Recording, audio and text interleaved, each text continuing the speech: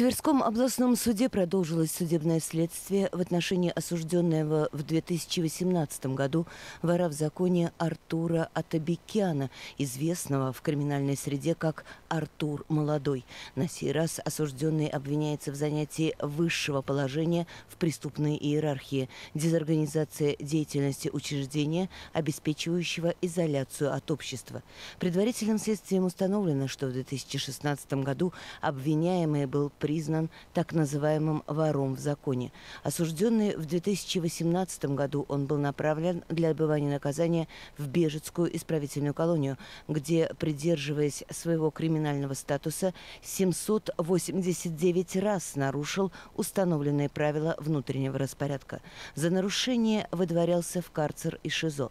Кроме того, в октябре 2019 обвиняемый совершил применение насилия, неопасного для жизни и здоровья, в отношении сотрудника колонии. Необходимо отметить, это первый факт, выявленный на территории Тверского региона. Ранее уголовные дела данной категории, статья 210, часть 1 Уголовного кодекса Российской Федерации, не расследовались.